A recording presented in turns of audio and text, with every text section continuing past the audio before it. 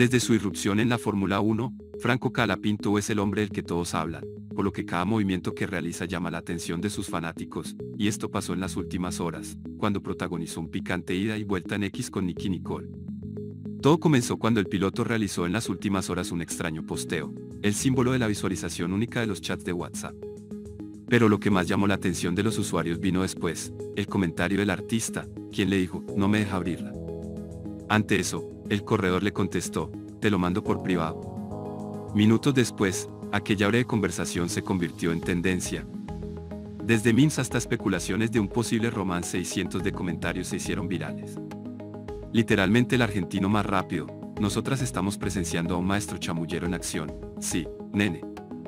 Tenés que cerrar el autódromo. Los genios hacen eso y, bueno, afuera y dentro de la pista, fueron solo algunas de las reacciones más divertidas. Pero esta no es la primera vez que el argentino hace comentarios picantes.